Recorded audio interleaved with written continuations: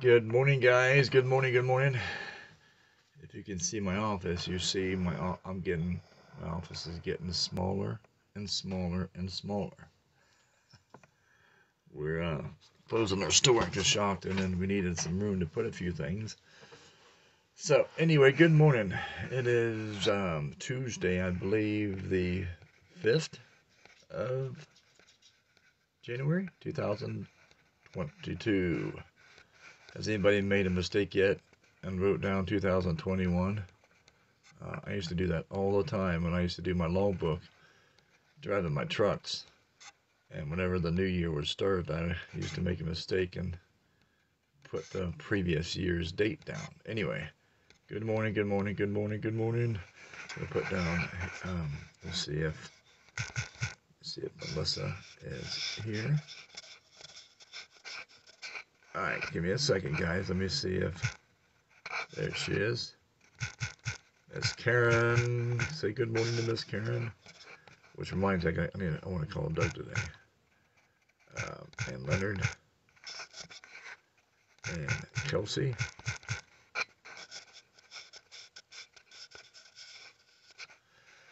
And anybody else that would love to join us. Wish I could, like I said, we all need to petition Facebook. I don't know how much longer I'll be on here. I'll probably be back in jail again. This time it'll probably be for a year. but uh, need to petition to Facebook to put down one button if you want. It's an option to invite all. But maybe they won't do that because maybe there is a few people in that whole group that you don't want to invite, but it could always be an option, you know what I'm saying? Could always be an option.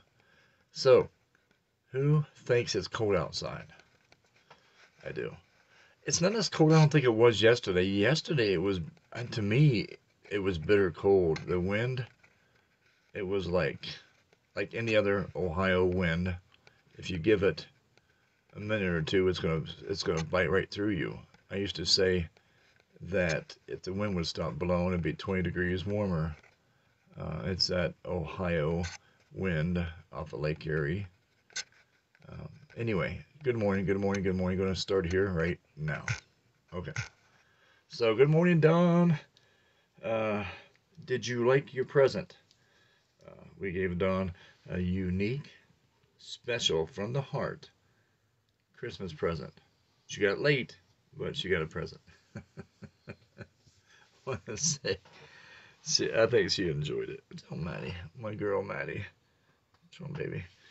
Okay, again, if you uh, are just now joining me, my office is filled, not filled, just got more stuff in it than usual because we're closing our store in Coshocton um, several reasons. One, it wasn't profitable. Two, um, I want to spend more time with my my family, my grandchildren, my wife, my children, um, and that wasn't happening. We were I was just tired a lot. I still am seven days a week, tired a lot. So, um, want to be able to spend more time, and, and then three, I want to do God's work. He may or may not be moving us somewhere else we're just going to wait to hear what he has to, what he wants us to do. Okay. Prayer request. Um, I want to say a prayer for um, um, Golden Hearts. Uh, uh, a heart for the voiceless, voice for the voiceless. Uh, say a prayer for them. They do doing a wonderful job, and um, I'm get to be blessed to be part of that. And so say a prayer that uh, God does wonderful things to us and to our town and the people around us. And um, so say a prayer for that. Say a prayer for, I guess, Rob Portman. We're supposed to, like Mike and I was talking this morning, we pray for our leaders.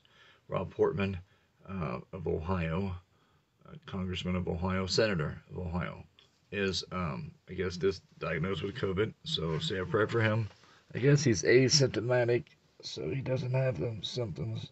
So. I'm covering up my dog here, uh, my wiener dog, who's always cold. And um, so anyway, so oh, Maddie, there you go, there you go. All right. So anyway, Minus don't like to be covered up at all. So say a prayer for uh, him. Say a prayer for our country. Um, please say a prayer for our country that 2022 will be such a revival um, in the hearts of the world, especially this country. Say a prayer for for um, this country, would you please, for 2022. That'll be better in your life to get closer to God, better in your life to be more obedient to God, better in the lives. Good morning, Mary. Good morning. Say a prayer that um, the people in this country will stand up, the Christians, the, the ch- children of God. Now, the true children of God, first and foremost, examine your heart and your life. Don't just say you know God. Don't just say you believe in Him. Don't just say, um, you know, you go to church. Don't say that ask yourself, do I have an intimate one-on-one relationship? Don't I don't don't just talk to him and expect him to answer my prayers. I don't just come to him like a genie, but do I have an intimate one-on-one relationship with my Father, my Lord? Do I obey him? Do I love him? Do I serve him? Do I keep in constant communication, keep in constant uh, meditating on his word? If that's the case, then um, ask yourself, you know, what can I do uh, to be more obedient? Um, pray that he'll use you in such a mighty way. Pray that his children will stand up and be children and that uh, will take back uh, this country. It was it was made to be a godly country. God formed the United States of America to be a godly country, to be the role model of what other countries should uh, be like. Uh, democracy, freedom, and all. So say a prayer that your life, my life, and the children of God will stand up and be children of God better in 2022 than they've ever been. Okay, Lord, we lift up those that are sick. Lord, Rob Portman, our senator from Ohio, who's got COVID, we lift him up. We lift up, um, Lord, we just lift up our hearts, our life to you, that you will um, cleanse us of all unrighteousness. You are give us the mind of Christ that we have love for one another. We are humbled. I was thinking that this morning that we're humbled we no longer walk around with our head up high like it's about us. Um, but we humble ourselves to our children, to our grandchildren, to those out there that are lost, to the sick, to the dying. We'll humble ourselves, Lord, and be obedient. We'll be the, the lambs that the shepherd Jesus uh, came to die for. So help us to do that, Lord. Help us to get into the Word and learn more about your your Word and what we should do. In Jesus' name, we pray. Amen. Um, so prayer for Chuck. Yeah, Chuck. Uh, yeah, again, and I, I forgot about Chuck. Well, we we've been praying for Chuck on and on. Um, Chuck Eichel, I believe his name is. Good morning, Leonard. Pray, say a prayer for Chuck. He lost his wife, and if anybody's lost a spouse that you you spent many years with, loving and cherishing, and, and you lose that spouse unexpectedly, um, life is tough. So say a prayer that he gets um, meaning back in his life, that he gets uh, uh, a big hug from God, that he gets uh, the love shown around by his friends and family, and that God can get him through this. So say a prayer for Chuck, would you please? Um, thank you, Mary, for, for reminding me of that. Um, go visit. I was asked. I was. I had asked the other day, yesterday, I think it was. Um, to visit. Um, also, too, the guy's name is uh, Roger Philibum. I've known him for a long time. He guess he has got the COVID real bad up in Columbus Hospital. Um, if you get a chance, go visit. Uh, don't be afraid of, of, of this disease. Um, pray. Let God use you to go in there and minister, lay hands on, to heal these sick people. They really need it. They sure do. And um, it's easy. Hey, Becky, it's easy to, to say, well, I'll just pray for, and I'll pray for, and that's what we need to do. But maybe God wants to use you to be the answer to uh, their prayers, your prayers, and everybody else's prayers for that person's life. So say a prayer that God will use you to be the answer to that prayer. It's easy to say, I'll pray. Um, absolutely. Uh, if you can get his address, is he still in the hospital or is he home? Um, say a, say a prayer for for Chuck. Um, go visit. You know, take away time away from. I'm going to get down and dirty here. Take time away from your TV, from your football games, from you know your your your own. He's home. Okay, give me his address if you can, uh, and see if it's okay. I called him several times and left messages, but I haven't heard from him. But uh, take away time from your your life. Um, pray and let God use you to go visit uh, people that are sick or that are having a hard time. They're homeless. Like I said, I'm I, am i am getting ready to get voted in to a group here in Coshocton called um, um, Golden Hearts, a voice for the voiceless. And uh, not only do they go around and try to find missing people, but uh, on the agenda for this year, we're going to be helping out the homeless people here in this area. The prostitutes, you know, I haven't seen any, didn't know there was any, but I, I was told there are several in this town. Um, but say a prayer for, for us that uh, you know God can use us in a way that's that's uh, helping. I mean, we're supposed to. The Bible says, "Go out and help the poor, the sick, the widows." You know, those out there that don't have an, income or, or on a very tight fixed income and they're having trouble with their grass, having trouble with their leaves, that, that need help, you know, fixing a porch, that need to know Jesus Christ. That's what we're supposed to do. And many of us don't. Many of us go home and we sit down after a hard day. We eat our dinner, watch TV for two or three hours, and and uh, you know go to bed and wake up and do it all over again. And God's looking down and saying, you know, I could do so much through you, but you have to be willing and humble. And let's do that. Let's be that that that vice. Let's be that tool that God can say, hey, Mary is good at that. Leonard has got a skill in that. I've given it to him. Now, I, let me use Leonard. Or so and so's got money um, and this organization needs you know funding, whatever. Let's do it because that's what we're called to do. Let's be better children in 2022 than we were in 2021. Um, yeah, absolutely, Mary. Absolutely, I, I, I, would love to go see him. I would love to go see him and and uh, pray with him and and uh, give the man a hug and and uh, that's what it's about. When my dad died, um, I didn't want to hear words, you know, that I care. Now that my cats, come here, my cats. I didn't want to hear words. Oh, okay, I care. If you need me, let me know. Um, I wanted to see it. It's easy to say I'm there if you need me. Um, do it. Send them a card. Um, if someone's lost a loved one, they're definitely going to have a hard time financially. Send them, send them a card with a few dollars in it uh, call them up, FaceTime them, uh, send them something on on on you know Facebook, whatever, saying, "Hey, I want to let you know I'm here for you." But that's not enough because most people will do that. Most people have the heart to send a, a thing on Facebook. Most people do. Right, exactly. Go to them. Let them know. You know, I just want to let you know that God loves you, and He sent me today. And I just, is there anything I can do? I mean, uh, and if there ain't, just know that He cares.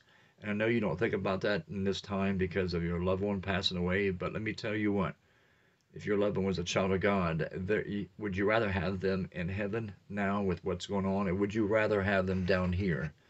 Um, I'm selfish too. I, I, want my wife here, but um, when God calls her home, then I'm gonna be the first one to, to sing praises and dance and sing and like, yes, you got yourself an angel, God, um, and I want to see her soon. So uh, did a funeral um, about a week ago um, with the family, and I and I told them um, if Robert could sit up out of this casket now, he would tell you guys to live, not just be alive, live. And that's what I'm telling you guys today: live, live.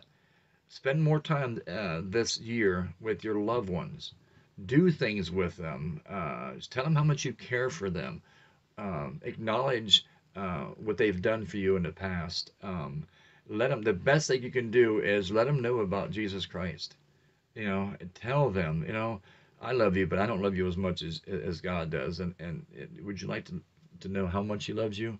Tell them that because that's going to be the greatest gift you'll ever, ever, ever give them.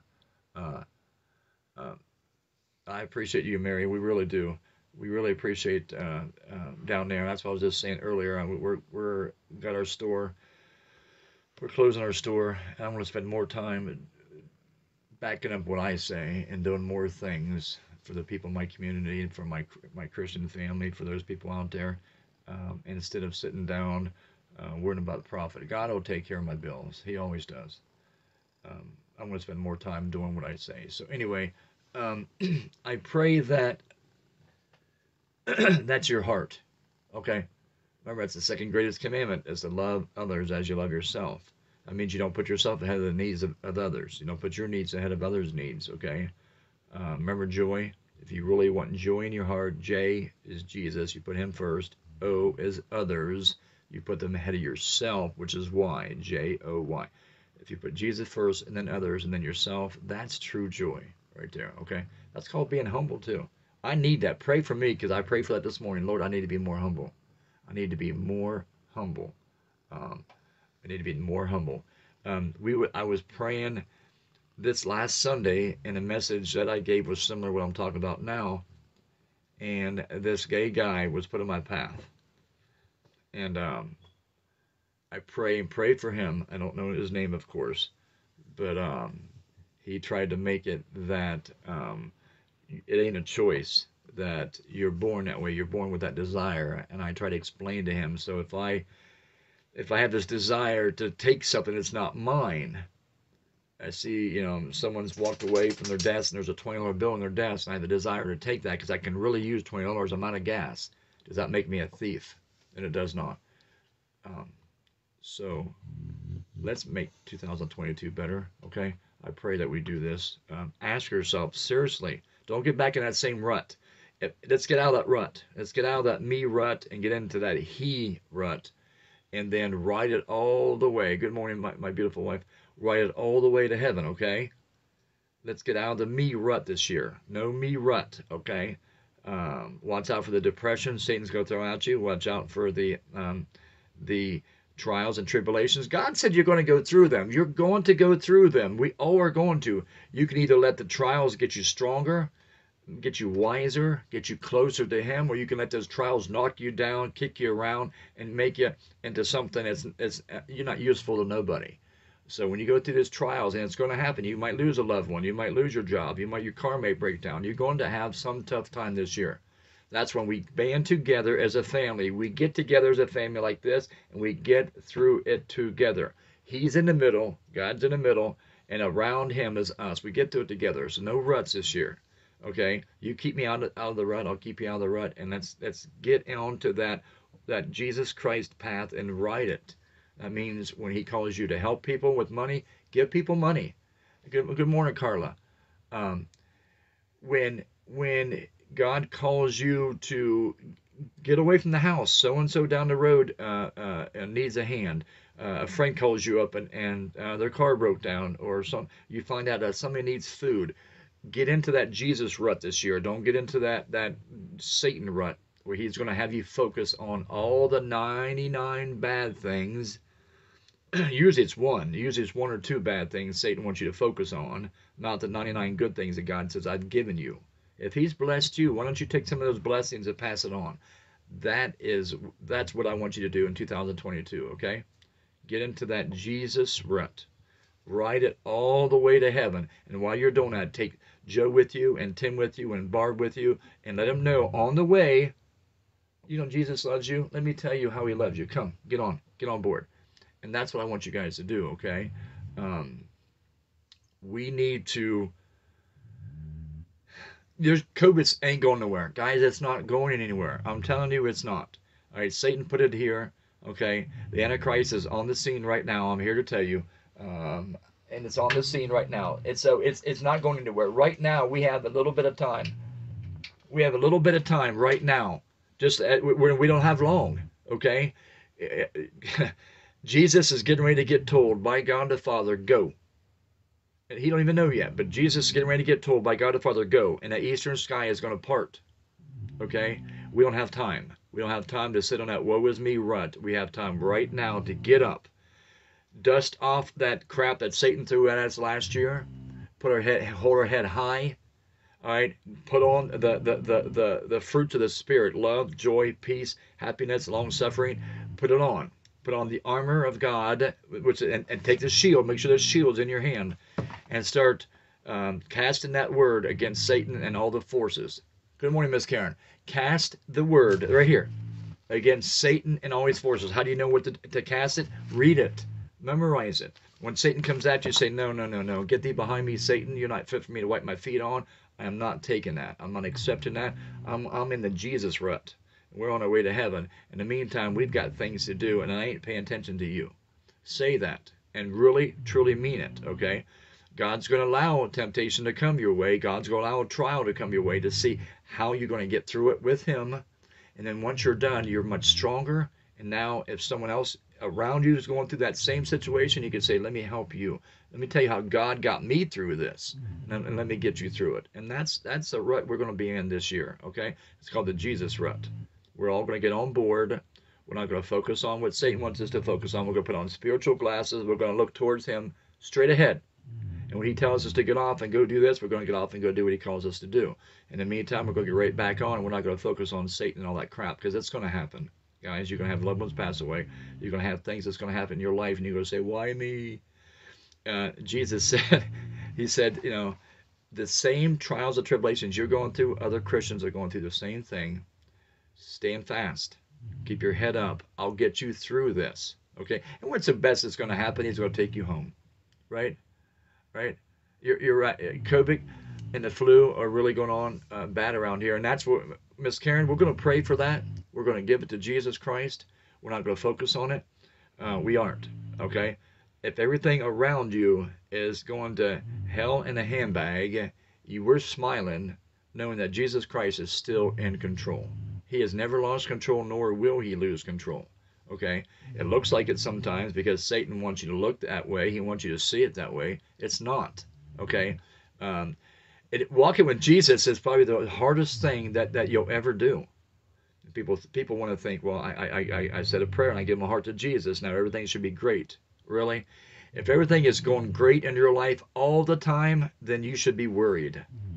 You should really be worried and ask yourself, okay, do am I really on that Jesus train? Am I really born again? Am I really doing what He's calling me to do?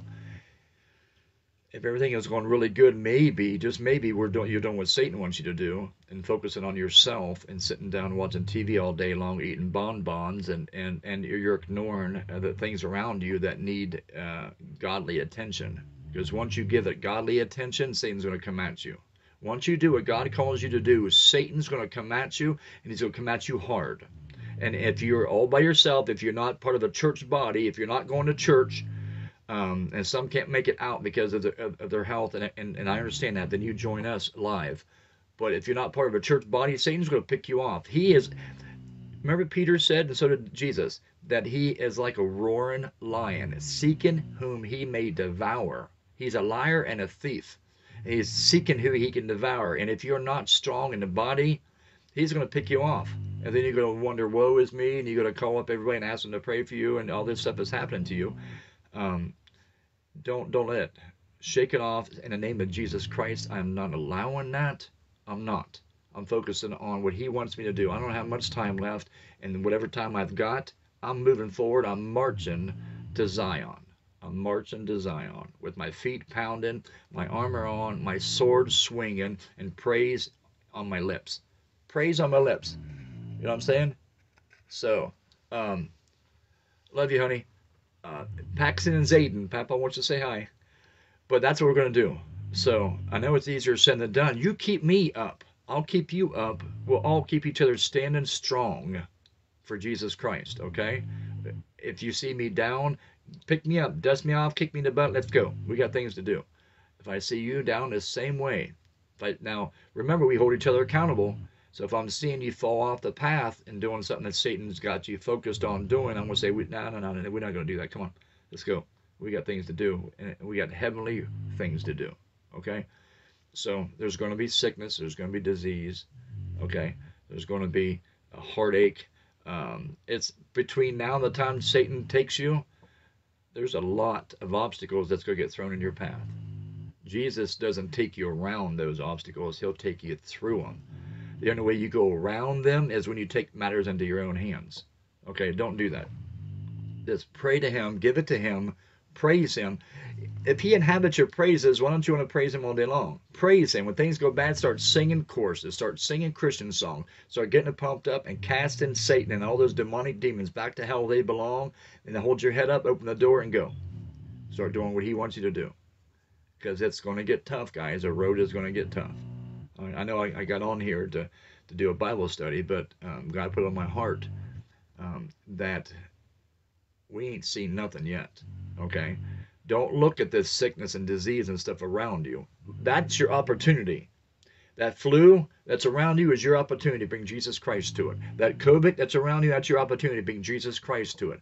Okay? The, the, that backstabbing, uh, gossiping family members that tries to tear you down, that's your opportunity to bring Jesus Christ to them. It is. Why not? What what better time? You know, I'm not going to hurt you and gossip uh, like you know that's being done to me. Let me tell you about Jesus. And I guarantee you, when you do that, when you do that, it's going to end. I always tell people whenever you get tempted and whenever things are going bad, find a quiet place and start praising Him and praying to Him and talking to Him. In about three or four minutes, that thought you had in your head is gone. Is gone. Hey guys, I'm not immune to it. Matter of fact, uh, it hits me harder uh, and quicker uh, sometimes than a lot of you guys because Satan is trying to take down those that, that God has got doing you know the frontline business. If he can take down the generals, I'm not general, if he can take down the generals of his army, then it's much easier to take down the lesser uh, troops in God's army. So let's hold each other up, okay? Um, God is good. God is good. Guys, sing it all day long. God is good. God is great. God is wonderful. Sing it and believe it. Because once you start pumping yourself full of Jesus Christ, once you start getting more Jesus and more Jesus and more Jesus and more Jesus into you, there ain't no room for Satan. There ain't no room for none of that bull baloney that he wants to throw at you because you're so full of Christ. There ain't none. He's going to try to get a wedge in there. He's going to try to get a, a, crack in, in, in, in this armor. Cast him out. You know, don't fight him. Don't debate him. Don't argue with him. Just do like like Michael did. You know, I, I rebuke you in, in, the name of Jesus. You know, do like Paul did. In the name of Jesus Christ, I rebuke you. You know what the demon said? When they tried, they were trying to be cast out by these so-called Christians that weren't in the body and weren't uh, uh, up to faith and weren't in, in prayer.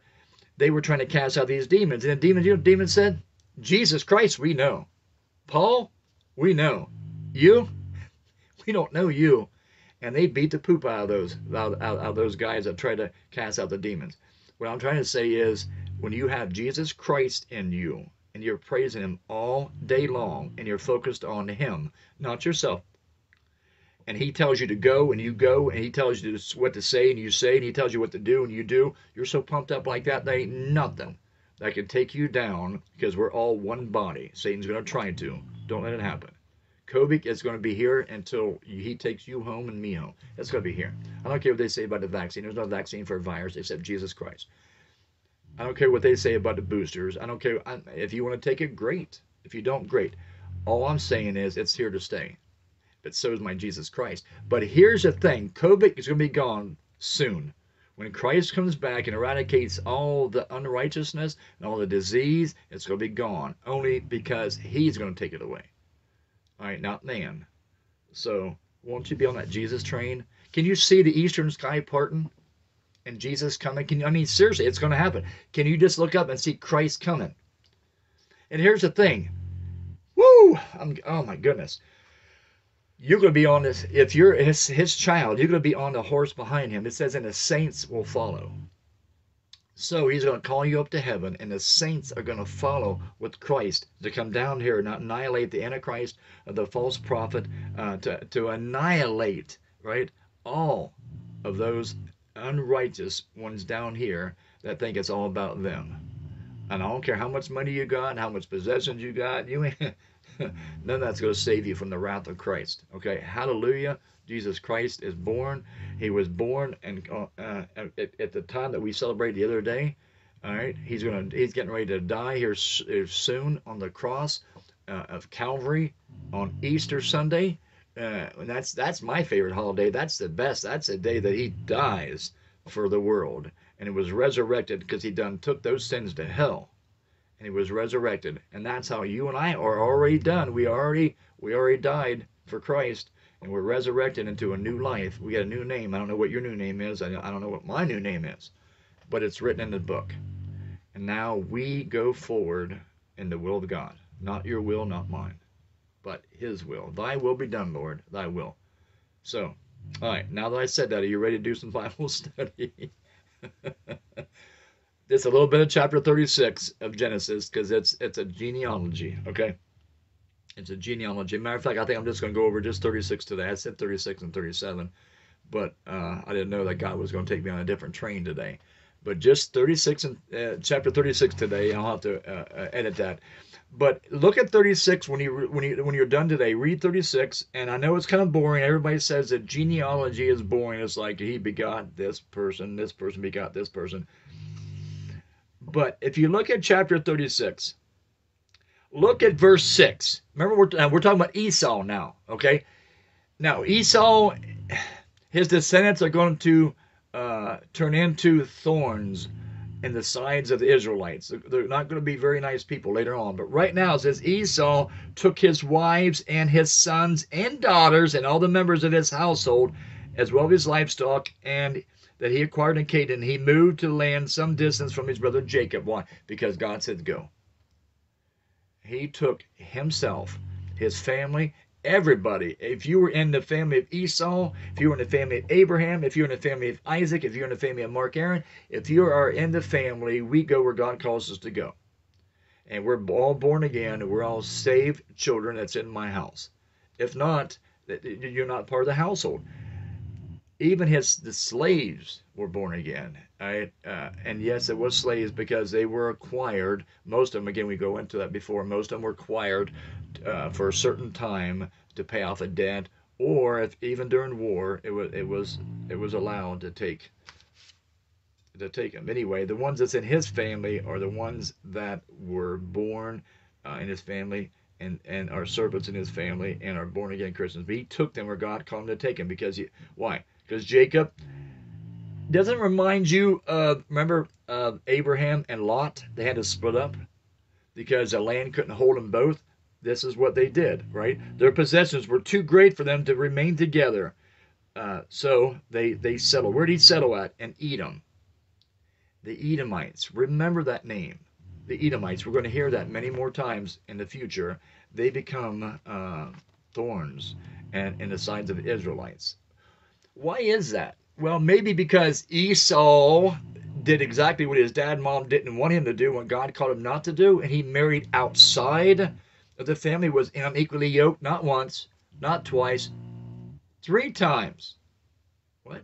Oh my goodness. He did.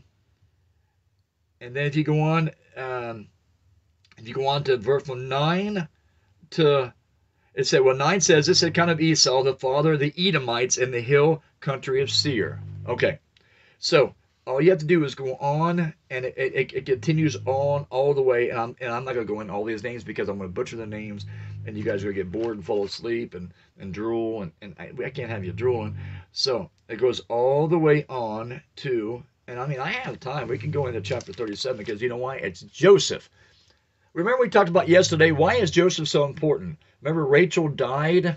Rachel was was Jacob's favorite wife? Favorite one.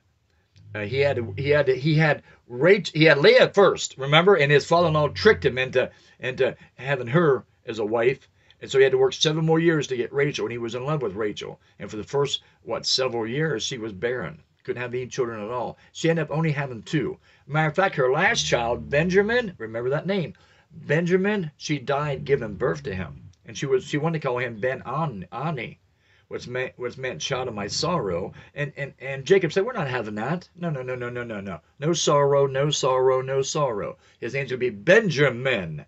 Benjamin, right? Hallelujah. Praise God, Benjamin. That's what his name's gonna be. So she had two children, Joseph and Benjamin. Now, if Jacob loved Rachel more than Leah, and, and it was a pride in his eyes, it was just Rachel. Her first son, Joseph, wouldn't that be a favorite of his too? It will be. And then, and then later on, we're going to see that he's then going to adopt later on. Uh, his favorite is going to be Benjamin, the youngest boy. Okay, and Benjamin is the youngest of all twelve. Remember the twelve children. His name's not Jacob anymore. Remember what his name's changed to? Raise your hand if you know. What was his name changed to? Israel. Yes, Israel.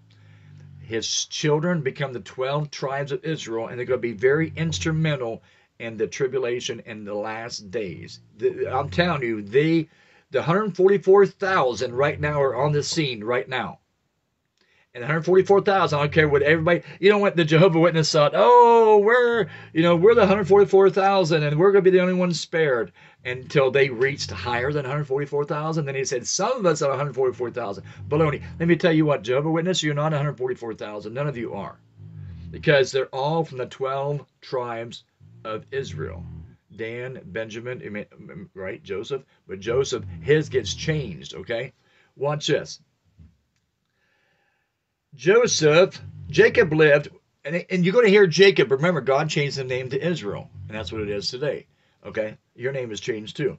He lived in the land where his father stayed in Canaan. This is the account of Jacob. Okay.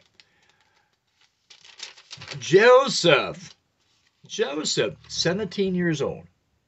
Young man wants to serve his daddy. Remember Joseph, the guy, the, the boy with a coat of many colors? He was given that out of pride from his dad. And usually, when you're given something like that, that means you are going to be the head of the household. He can't be the head of the household. Uh, you know, that's Reuben. I mean, he can't be. He can't. He can't get the birthright of his of his father. Watch what happens. Watch. God has got something else in mind. See, God don't care what what you, you and I think should be right. God knows what should be right. Watch this.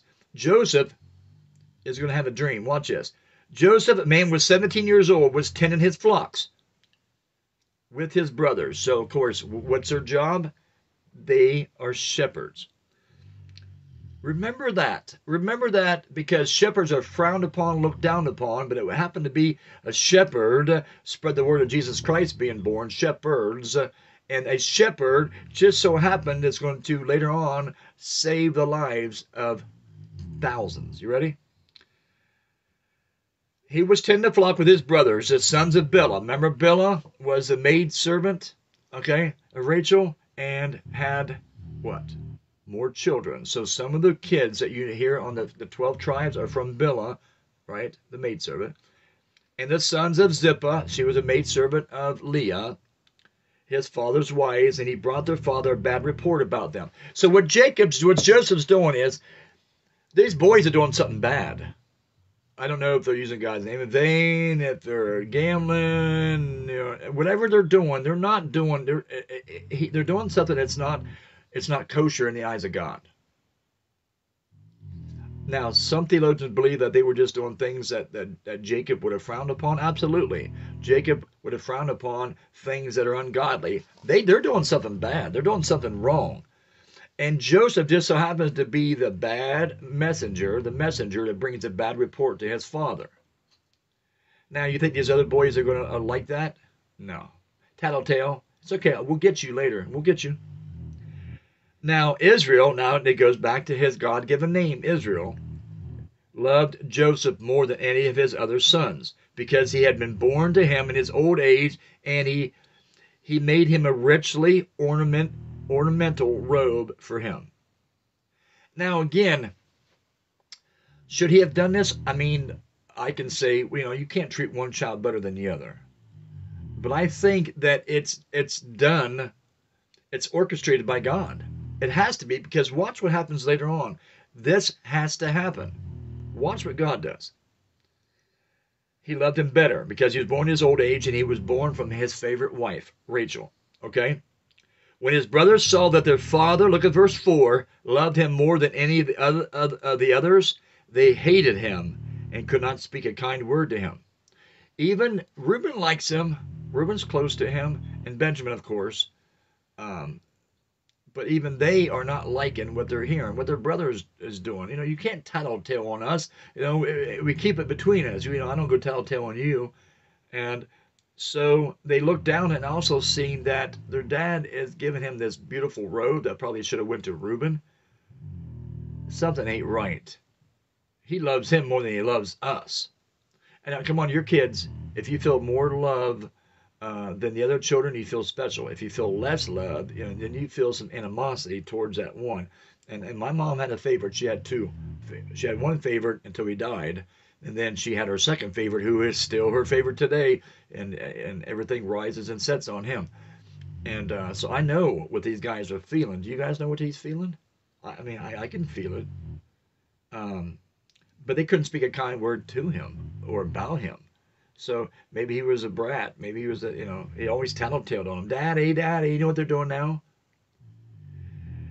So all of a sudden, Joseph goes to bed and he has this dream. And we know where dreams, right? Dreams, God says, I'll give you young man dreams and your old man visions. Listen to this. He had a dream in which, and when he told it to his brothers, they hated him all the more. Here's what his dream was. He said, Listen, we were binding sheaves of grain out in the field. Ah, so you have to have grain to, to be a shepherd. You know, they, they had grain too to help feed their animals. So we were binding these sheaves in the field. So when when they get old and or when they get dried and ready to, ready to cut, you cut them down. I've done it before. It's a lot of hard work. And you take the sheaves and you get them in your hand as much as you can, and you bind them and usually tie them up, and then you send them straight up and down to to dry further. Uh, we were binding sheaves. All of us were out in the field binding sheaves, and it just so happened um, when that my sheaf, mine, the one I did, arose and stood upright. So they were actually, they must have been binding them, laying them down. They hadn't get ready to stand them all up yet, but mine just stood up all by itself. Imagine this, you having this dream, you're like, whoa, whoa. It was standing up all by itself while your sheaves gathered around mine and bowed down to it. So when mine stood up upright, it was actually must have been taller than the rest of them, and yours all stood up too and, and started bowing down to mine. Now they hated him before, didn't they? Because he's a tattletale and he's daddy's favorite. But now we got strike three. Now you're saying that that, that we're gonna bow down to you, that you're some great almighty, and you're the second to the youngest you know, you could be bowing down to us. You could be serving us. Whatever. I'm not serving you. I'm telling you, I had this dream. Watch what watch what Jacob says. Watch what Jacob, uh, aka Israel, watch what he says when he hears about this dream. It doesn't stand good with him either. Watch. His brothers said to him, Do you intend to rule over us? Look at verse 8. Will you actually rule over us? Do you intend to? And do you think you're going to? and they hated him all the more because of his dream and what he said. Then he had another dream, and he told it to his brothers. So the next night must have had another dream. Listen what he says this time. This time the sun and the moon and the eleven stars were bowing down to me. Whoa, whoa, whoa. So you're saying not only we get to bow down to you, but the whole universe is going to bow to you? The sun, the moon and all the stars are going to bow down to you? Seriously? And we're going to see later on, remind me to tell you why the sun and the moon and the stars are going to bow down to him. Little spoiler, later on, out of the line of Joseph, or out of the line of Jacob, will come Jesus Christ. But watch this. But Joseph's ready to do something very instrumental later on to ensure that Jesus Christ comes. so here we go. Uh, when he told his father as well of his dreams, his father rebuked him. So I'm wondering why Joseph rebuked him. This is what Joseph said. What is this dream you had? Will you, will your mother and I and your brothers actually come and bow down to the ground before you? And then his brothers were jealous, but his father kept the matter in mind. So two things happened there. Well, three things. Now his father's like, "Are you serious? Are you so you're saying I'm going to bow down to you? I'm your dad, and I'm the one that started all this. Pride, right? And your mother too. You think she's going really? Uh, then his brothers now get even more jealous. Now that the anger is starting to seep, and God's allowing this. Matter of fact, I think God's orchestrating this because something has to happen Okay, something has to happen to ensure the continuation of the Davidic line or the line of Jesus. Um, but what's the last thing it said? But Joseph kept this, or not Joseph, Jacob kept this in mind. So now he's thinking about this, and I bet he's talking to God about it. I bet he's praying about it. But he's asking God, okay, is this, you know, it, it, it's prophetic. And that's what it is. This is prophetic. He's seeing the future, a prophetic dream. And Joseph keeps him in mind. He's thinking, okay, I, I, I, I don't want to forget about this. I, I've got to keep this in mind. Okay? So, listen, listen what happens. Um, look at verse 12. Here we go. It started. Now his brothers had gone to graze their flocks near Shechem. It's a ways away. Um, I'm thinking it's at least a day, day and a half away. So you, you take your flocks wherever you can to, to find the graze. So they're living away from that. So they're but a day, day and a half, maybe. Um, I, I did the homework uh, earlier uh, in the year when I did this before, and I, I, I want to say as much as three days, between one and a half to three days journey, okay? Israel said, and I often wonder why he keeps going back and forth Jacob, Israel, Jacob, Israel, Jacob, Israel. I don't know. Israel said to Joseph, As you know, your brothers are grazing the flocks near Shechem. I am going to send you to them. Okay there's a watering hole there too. That's another reason why it's there. I'm going to send you there to them. Do you want me to spy? You want me to tell you if we're doing something else wrong again? Because uh, I can do that. Now, remember, Joseph kept it in mind before what, not Joseph, Jacob kept it in mind what Joseph said. I'm telling you, I believe God sent, is to put it in Jacob's mind now. Send Joseph to the boys. Because why else would he be? I mean, he's like a day and a half to three days journey away, and and uh, they don't need his help, right? They don't need his help. So God's orchestrating this. Said, as you know, your brothers are grazing the flocks. I'm going to send you to them. Very well, Joseph said.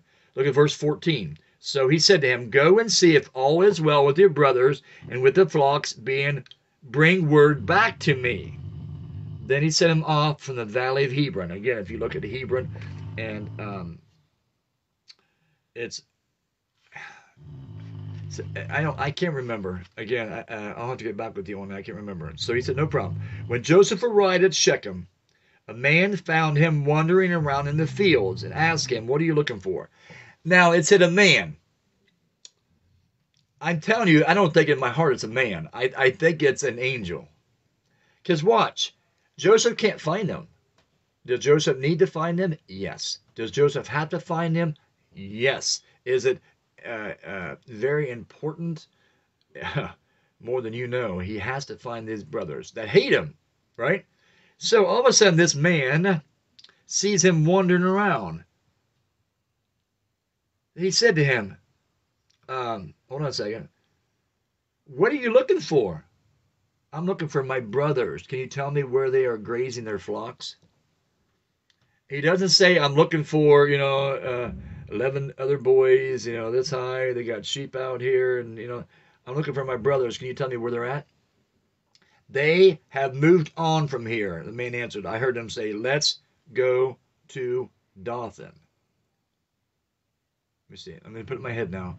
Okay, Dothan is a three days journey. So he was within about a day, day and a half. That's where I got the day and a half in the three days journey. So he's got some more traveling to do. So when Joseph went after his brothers and found them near Dothan, but they saw him in a distance, and before he reached them, they plotted to kill him. Now it can't be that bad, right? I mean, you can't hate this boy that bad to kill him. You're seeing him from a distance, and you know there comes a tattletale. There comes Daddy's favorite.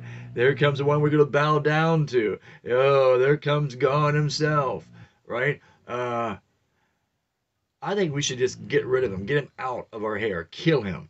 Now, Satan's on the scene too, and some theologians believe that that man was Satan, you know, because Satan can appear as an angel light, Satan can appear, okay, was Satan himself, making sure that this is going to happen. I disagree. But anyway, Satan's on the scene because Satan's now boiling up in these guys' mind, rehashing. Remember I said earlier today when I go stay in that old rut, when I go rehash all this stuff that that's been that goes on in our life that Satan wants us to focus on.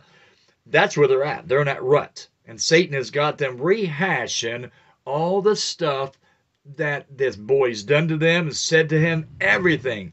So it says not one, not two, but they, even Reuben, even Benjamin, plotting to kill him. Oh boy. Um, and some theologians believe I, that Benjamin wasn't there, but we'll find out. I, okay, here we go. Then, then they yelled, "Here comes a dreamer!" Real loud. Come now, let's kill him and throw him into the these cisterns and and say that a ferocious animal devoured him. Then we'll see what comes of his dreams. So, so we're going to take matters into our own hands. One, we're going to murder when now God says, "Thou shalt not kill." Intentional murder, okay. And then we'll see about his dreams. We'll see if those dreams really were prophetic. Now they should have they should have learned something here in a little bit that they were true.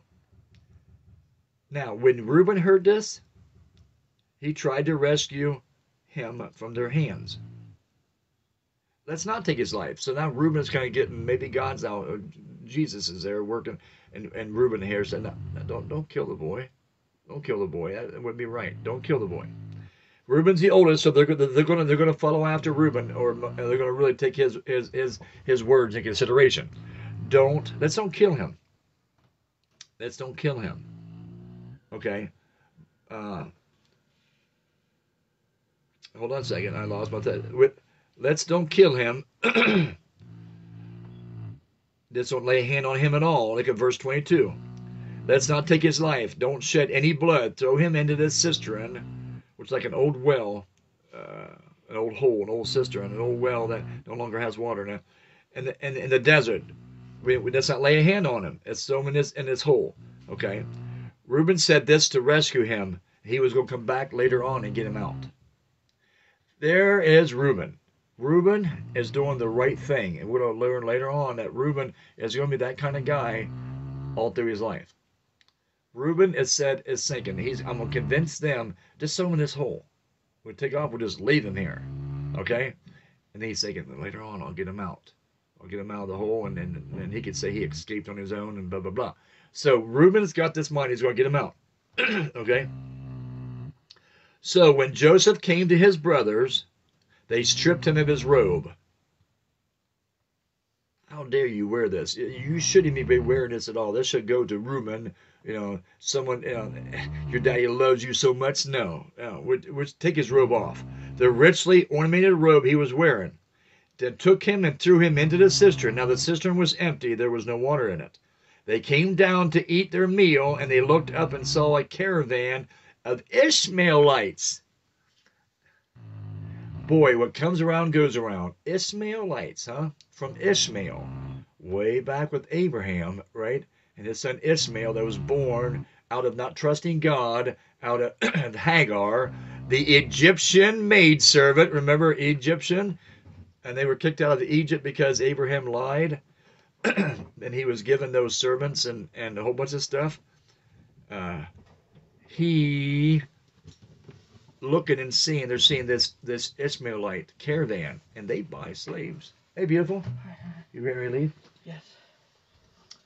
What time? Did you get my message? Uh uh I have to go to Mount Vernon. I thought you only had work two days, two hours. No. The girl in Mount Vernon called off. She's sick. We got a lot of sick people right now. It would be home nine o'clock. Um, probably between eight and eight thirty. I love you. All right, love you. All right, have a good day. Oh, I was, well, I'll try to have a good day. I was going to have a better one when you with you here, but Sorry. that's all right. Love you. Love you. Okay, so here's the thing. Sophia. The Israel, the you don't think God has the Ishmaelites coming through there at just this right time?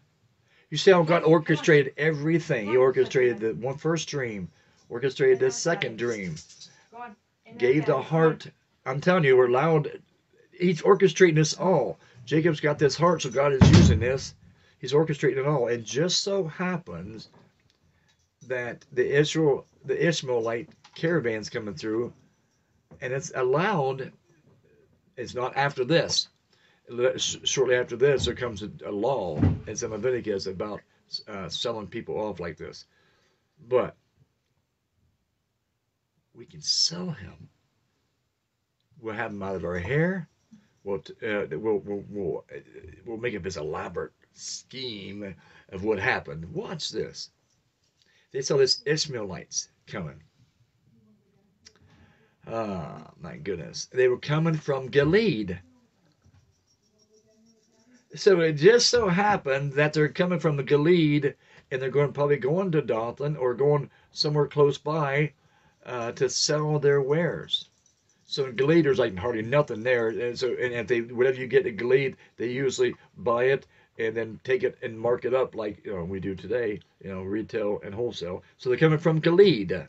Their camels were loaded with spices, balms, myrrh, and they're on the way to take them uh, to uh, through Dothan and to Egypt.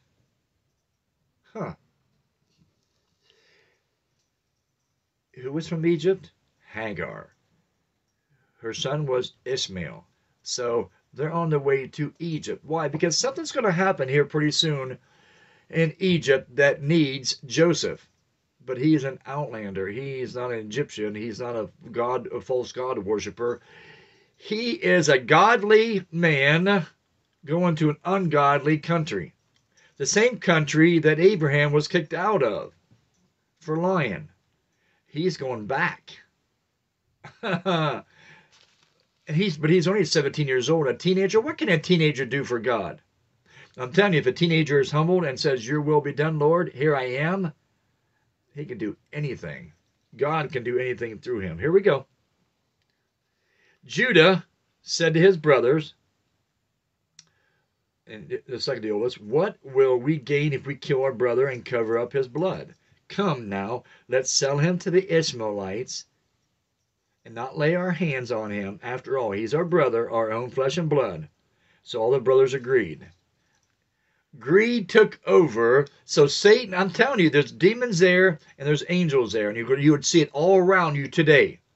That's why we come to crossroads every day, all day long, of what decision we should make godly decision or an ungodly decision the angels are there telling Benjamin, right? Not uh, not Benjamin, Judah. Hey, you could get money from him, right?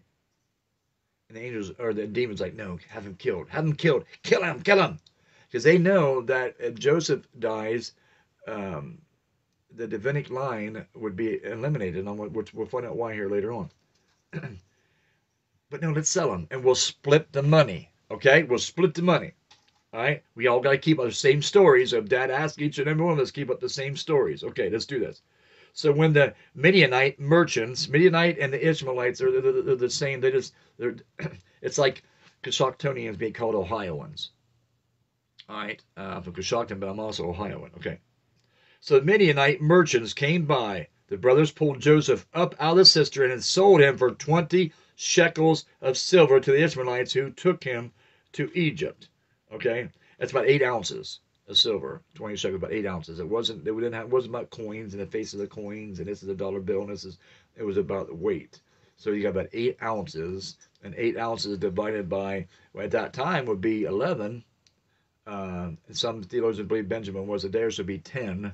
So they would all get their fair share if they kept the same story. Okay, they sold him He's on his way to Egypt. When Reuben returned to the cistern and so that Joseph, ah, so Reuben wasn't there.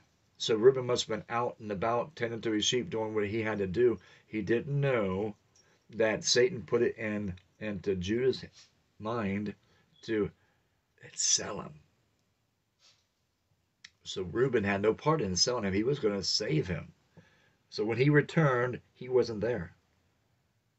Oh my goodness. You think they're going to talk Reuben into keeping his mouth shut? I don't know. Money, money, money, right? Um, he went back to his brothers and said, The boy isn't there. Where can I turn now? Where's he at? What should I do now? Then they got Joseph's robes, slaughtered a goat, dipped a robe into blood, and they took the ornamental robe back to their father and said, We found this. Examine and see whether it is your son's robe or not. They know it was his robe. You know, maybe his eyesight was poor, but you know, I mean, they're they're saying, hey, you know, uh, check this out. Is is this the one, the robe that you give Joseph? Now, here's what Joseph's thinking. he sent the boy Joseph, or Jacob's thinking, I sent Joseph to go check on the boys. He's gonna he's gonna regret that for a long, long time. He's gonna beat himself up about it. So he must have been tore up by an, a wild animal between here and where the boys were. Is this his robe? You would know. 33. We're almost done. We got three more verses. He recognized it. Jo- Jacob, aka Israel, recognized it. It is my son's robe. Some ferocious animal has devoured him. Joseph has been surely torn to pieces. Then Jacob tore his clothes, put on sackcloth, mourned for his son many days. Now, how can you, you're the boys, and you're seeing your dad, whom you love, mourning, wailing, mourning, and it's gonna be beating you up. You gotta be saying, uh, but you now you can't really say anything because you gotta keep the cover up going, right? Um, because he's sold as a slave, and technically, in order for Joseph, if Jacob did find out, Jacob would have to have paid uh, sometimes up to double to get him back if he would be allowed to be sold back. So they really got to keep up this charade, right? All his sons and daughters, daughters, plural, came to comfort him. You see, and that's why a lot of people say that Dinah was his only daughter. Oh, it says here, daughters came to comfort him, but he refused to be comforted. No, he said, in the morning will I go down to the grave to my son and mourning, not in the morning, and mourning. I'm, I'm, going, I'm going to grieve until God takes me. So his father wept for him. Joseph's father wept. Meanwhile, the Midianites sold Joseph in, to, in Egypt to Potiphar, one of Pharaoh's officials, the captain of the guard. So you need to you can't tell me God is not orchestrating this because he wasn't supposed to stay with the Ishmaelites, aka the Midianites. He was supposed to go higher, to the highest he can go, to Potiphar's guard, the guard, to Potiphar, the guard of Pharaoh, the king. Pharaoh means president or you know uh, prime minister, um, so it's it's not the name, but it's just you know Pharaoh, the Pharaoh. Uh, so Kessie, you went out. Kessie, hold on, guys. Here. Okay. So, uh, that's it. You can't. So, hey, Don. So you can't tell me that God didn't direct this whole thing. Um, and everybody says, here's the thing, though. God is in control. You've got mail. God's in control. Always is, always will be. We still have choice. We still make decisions. Okay. Um, they, those boys, were motivated by hate envy, jealousy, greed. Look at all the weapons Satan threw at them to keep it boiling, keep it heated up, and keep it boiling until something was going to happen. But Reuben listened with a heart from God, through whatever an angel, whatever, to God, to not kill him, to not let them kill him. He wasn't even there, so God had orchestrated where he wasn't even going to be there because I think that he would have, he would have not agreed to have him sold. But when he came back and found out it was done, he was in the soup, in for a penny, in for a pound. He was in for it, and I think that it, he regretted it for a long time. We'll to find out later on who mourns. I can't do it because I'll give you a, it would be a spoiler. Okay, so come back tomorrow about 8.15, 8.20. We're to get it, it, it this is to get good. This gets really good. If anybody knows the story, story of Joseph, um, I'm to give you some insight that you may not have known. Okay? That's what it's all about, right? Learn it all you can. Okay, I'm to say a prayer. We're to say a prayer for um, Chuck Eichel and um, this country.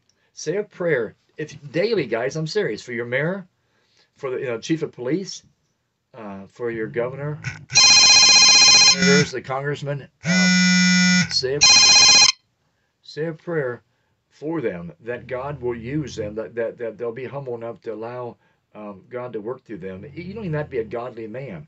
If you have a heart for others and others around you, you're, you're going to tend to make uh, better decisions based on what God wants. But it goes to show you God's in control. He's in control. Okay, don't blame him. People blame him. Well, I can't believe all this suffering and stuff is happening. He's allowing all this to happen. Um, man makes decisions. Somebody made a decision to engineer this virus. Um, God's allowed it to happen for a purpose. Okay, you don't see the bigger picture. I'm a father and a, and a papaw. I don't have time to explain to my children or my uh, grandchildren why I make a decision.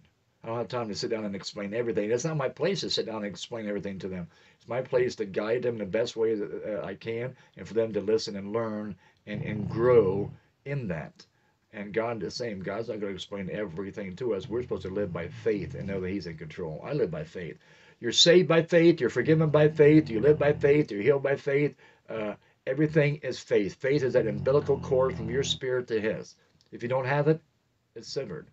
And nothing's going to happen without faith, okay? Either your sins will drag you to hell, or faith and what, and what Christ Jesus did for you is going to take you to heaven. And in the meantime, God's going to have His work done through you. So, all right, let's, let's do it. Lord, in the name of Jesus, we pray for all of our leaders, Lord. Uh, Mark Mills, the, the mayor. We pray for uh, uh, Portman. We pray for uh, Governor DeWine. Lord, we pray for all our congressmen and our senators. We pray for the president, uh, Biden, for uh, Camellia. Um, we pray for all those that are in leadership that have the position now, Lord, to do what's right for this country. Work through them, Lord, in a way that's pleasing to you, Lord. Help Chuck Eichel, Lord, get through this heartache that he's got. He's got to be feeling this this this pain and this of separation from his wife, Lord.